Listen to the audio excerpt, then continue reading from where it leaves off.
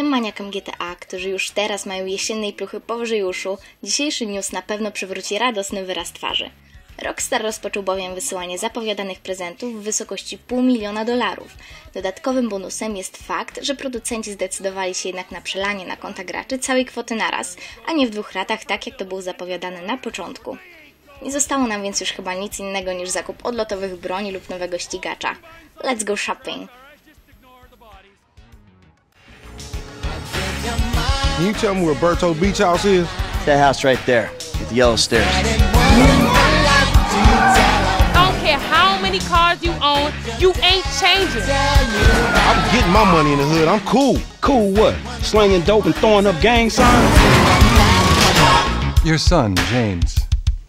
He's a good kid. Oh my God! Hey, let's bounce. Bounce. We're bouncing now. It's getting ready to go.